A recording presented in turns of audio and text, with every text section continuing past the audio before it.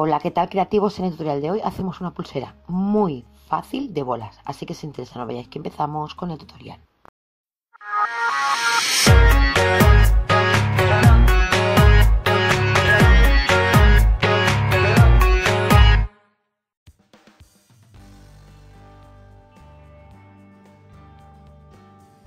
Para hacer este tutorial voy a necesitar cordón encerado, aunque deciros que vosotros podéis utilizar cualquier clase de cordón que sea finito. Empezamos midiendo y cortando los trozos que vamos a necesitar. Necesitaremos un cordón de 30 centímetros y otro cordón de un metro. Para trabajar la pulsera necesitaremos una carpeta con pinza. Como siempre os digo, si no tenéis esta clase de carpeta la podéis sustituir por un libro, tapadura y una pinza. En el cordón de 30 centímetros vamos a dejar un margen de aproximadamente 8 centímetros. Pues vamos a colocar el hilo de 30 centímetros en la pinza por la parte del margen que hemos dejado. Ahora pasaremos por este cordón central el cordón más largo.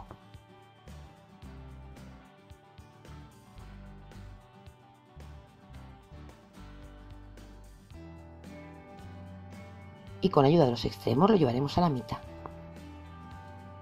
Vamos a hacer nudo plano. Este nudo lo utilizaremos también al final de la pulsera y para hacer el broche. El trozo que tenemos en la derecha pasa hacia la izquierda por encima del cordón central. El trozo que tenemos en la izquierda pasa por encima del cordón que viene de la derecha. Este cordón de la izquierda lo pasamos por debajo del cordón central y lo sacamos por el agujero que se habrá formado en la derecha. Y con ayuda de los extremos apretamos el nudo y así nos quedará justo en la mitad.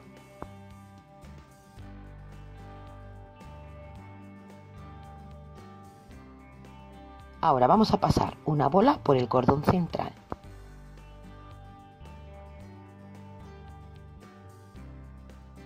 El trozo que tenemos en la derecha lo llevamos hacia la izquierda por debajo del cordón central.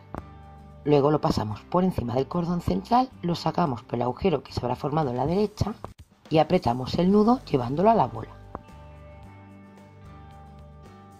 Ahora el trozo de la izquierda pasa hacia la derecha por debajo del cordón central. Luego por encima lo sacamos por el agujero que se habrá formado en la izquierda y apretamos el nudo.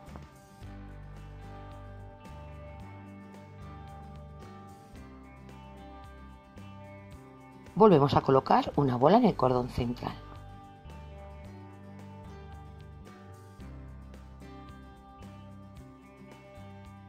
Y volvemos a hacer lo mismo. El cordón de la derecha pasa por debajo del cordón central. Luego por encima lo sacamos por el agujero de la derecha y apretamos el nudo.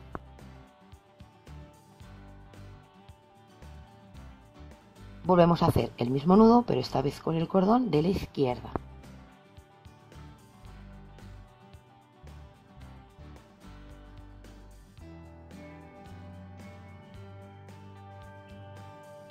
Colocamos una bola en el centro.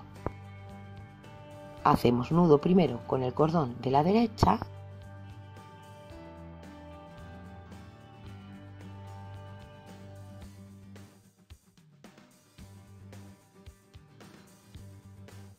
y luego nudo con el cordón de la izquierda.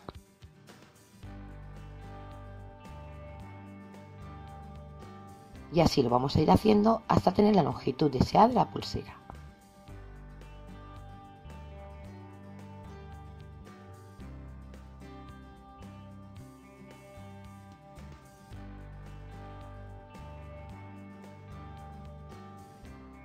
Una vez tenemos la longitud deseada de la pulsera y hemos acabado con una bola, vamos a hacer nudo plano.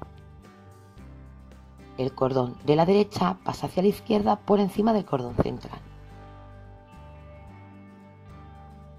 El cordón de la izquierda pasa por encima del cordón que viene de la derecha, luego por debajo del cordón central y lo sacamos por el agujero de la derecha. Y apretamos el nudo.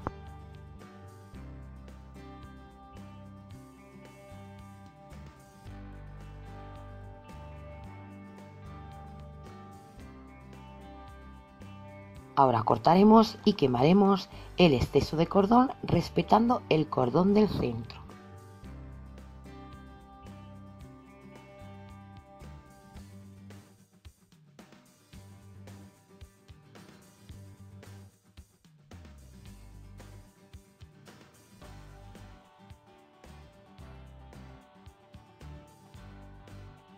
Vamos a hacer un nudo en cada extremo.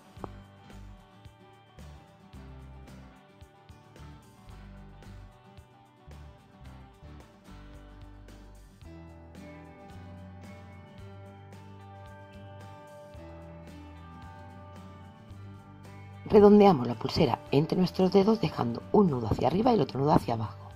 Con un trozo de cordón que nos haya sobrado vamos a hacer nudo plano para hacer el broche pues este cordón lo pasamos por debajo de los cordones centrales.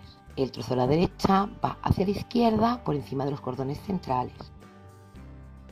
El de la izquierda pasa por delante del cordón que viene de la derecha, luego por debajo de los cordones centrales y lo sacamos por el agujero que se habrá formado en la derecha. Y apretamos el nudo. Ahora el cordón de la izquierda pasa hacia la derecha por encima de los cordones centrales.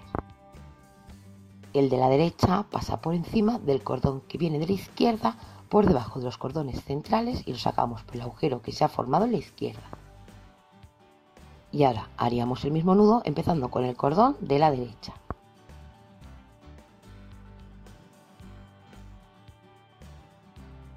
Luego el de la izquierda y así haríamos tantos nudos como queramos que tenga nuestro broche.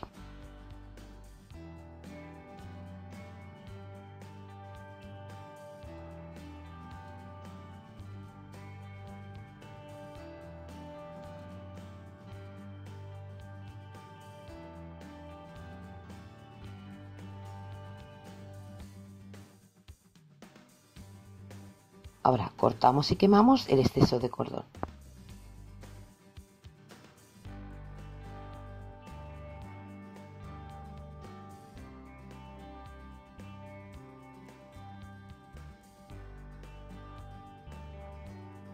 Y de esta manera abriremos y cerraremos nuestra pulsera. Pues listo, ya tenemos la pulsera acabada.